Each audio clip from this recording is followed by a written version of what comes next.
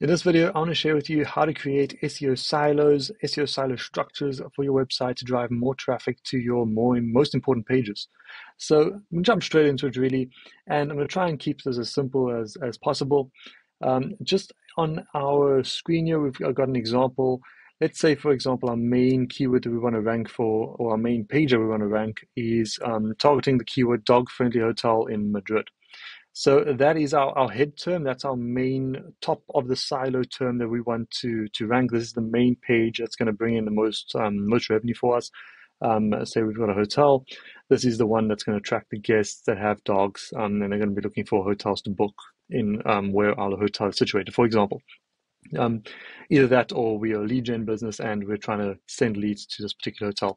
There are many ways to to to uh, skinny cat, as they like to say. So, um, the basic premise of a silo is you've got the main term, and then you've got supporting articles that is going to be building up, um, pushing authority mainly to that top page.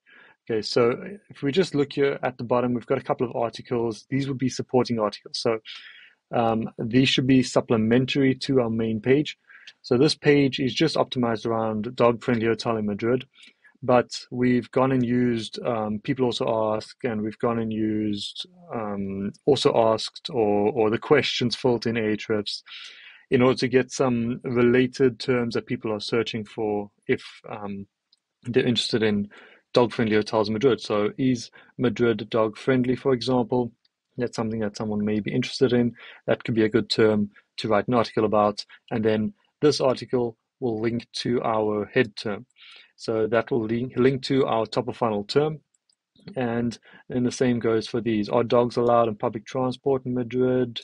Um, and then something that someone that's looking for a dog friendly hotel in Madrid, something that they'd be looking for would be things like the best dog parks in Madrid, um, the best dog friendly cafes, dog friendly restaurants, and all of these um, are now linking to our main article. Okay, so can dogs be left in hotel rooms? That'd be a question that someone would ask. That's something that you can get from people also ask just by searching for your main keyword and then just going to the drop down. If we just go and do that, actually, let's go dog friendly hotels in Madrid. And if we just go and scroll down here, we can see, okay, is Madrid dog, Spain dog friendly? Can dogs live in hotel rooms? Are they allowed on buses, public transport? Etc. So you can go and you can click on these and go down the rabbit hole, or you can use um, also asked uh, alsoasked.com and get a big list of of those. So I think I have a one of these here that you can just see. So you can see here dog friendly hotel Madrid and in can dogs be left in the hotel room? East Spain Madrid dog friendly. And then here are more questions that you can use so you know what to actually put into those supplementary articles as well. And of course, these listicle style things, you just have a listicle of the five places that people can go to. And then what you want to do is at the top of your article, in the content itself, you want to link to your main head term. Okay, so if we go to just as an example, this is just a, a random example here in the content itself. So these terms, their main job is to link to this your head term. That is their main job. That's really their only job. They have a secondary job, which is to they can also link to one another. So, for example, is Madrid dog friendly can also then link to are dogs allowed in public transport. So that could be a segue you can have in the bottom of the article, in the middle of the article somewhere, um, leading to this article, and then that can lead to um, in the five best dog parks in Madrid. So, say for example, just with this example, um, public transport between dog parks. You can talk about something like that in, in the article on public transport, and that can then link to this article. And that can link to this article, and this one can link to this article. So these can link to one another. And their main job really is just to that's just a little bit of that that um, authority juice passing among passing amongst itself, but the main authority is being passed to the top over here to the main article. That's why you want to have this right at the top of your article, of the supplementary article. Is Madrid dog friendly? Um, and then all the rest of them as well. And this should be in the content. So when I mean at the top, it should be here basically in the first paragraph, otherwise in the second paragraph, as high um, as high in the article as possible. And this can you should only be having these two links, these two internal links on your site um, on this article. So this was our article on is Madrid dog friendly, there will only be these two in content links. So this is in content link over here. These links here in your header, in your sidebar, in your footer, all of these these don't really count. So these carry a lot less weight than actual content links here that are in the in the content of the article. Um, so for these articles, their only job is to pass a bit of link flow to one another and to pass as much um, authority really as possible to the head keyword that you're trying to rank for, your main um, money keyword basically. And then what you can do is just to give these a little bit of a boost and to complete the circle really, you should take this and should pass it back to one of your articles. Um, and then that's just going to help those articles get a little bit of authority to also rank, which in turn then pushes everything else up. So they say all, all boats rise with the sea or rise with the tide. And that's basically what that's doing. And you're just completing the circle there.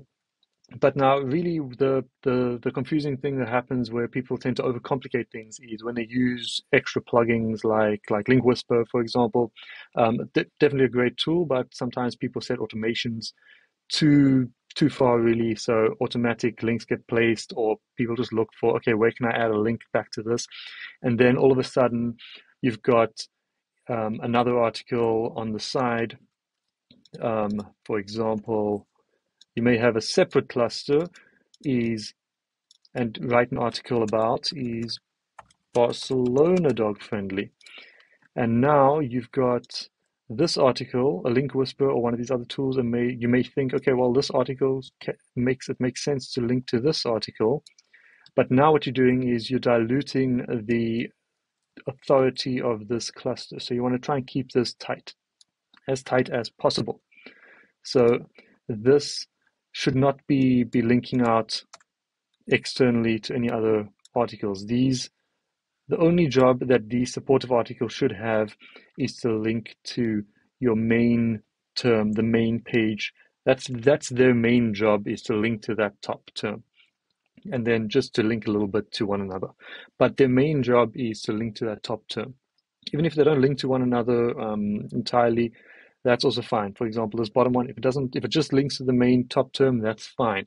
But um, you should not be linking with these terms outside of this cluster, because then you're just diluting that the the, the silos um, authority really. Um, you can link in, so you can link, say for example, if you've got a category for dog-friendly hotels in Spain, that can of course link into your dog-friendly hotel in Madrid, or if you want to link from your homepage, you can link that in as well. If you have an um, a blog post about the the the most pop the most um, dog friendly places in Spain, a separate article. That of course can also link into these articles. Um, you can also have other articles that link in to, to your other support supplementary articles, that's fine. But the main issue you want to have is these seven articles or however many supplementary articles that you're building in your silo, they should not be linking out. And Their main job is just to have these very, very strict, very, very um, strict rules about where they are linking on your site. So that's why you should have a Google um, uh, Google Google Sheet or some other type of um, form where you're actually storing this information, so you know that okay, this Madrid article, this is Madrid dog friendly um, article is a supplementary article. This cannot link to any new articles that we're busy making because its main job is to link to dog friendly hotels in um, dog friendly hotel in Madrid if our if that's our one of our main pages that we're trying to rank for. Um, of course, if you do change your main pages, your money pages may change over time, so you may restructure things afterwards, and of course, then you can link out and you can change the way things are structured, the silos.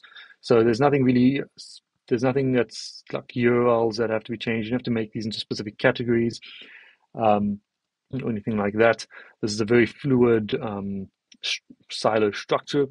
And silos also, I, I classify silos a little bit differently than you would silos, um, than you would compare for, for content clusters, content clusters or, or for topical maps. Um, Those are two, three different things really. And this is a silo, and this is really the main job of a silo is to boost up one page um, and just to realize that these supportive articles are only there for that one reason. And that's pretty much it for me. If you have any questions, then please leave a comment down below. And if you like this video, give it a thumbs up. That's I'll see you in the next one. Ciao, ciao.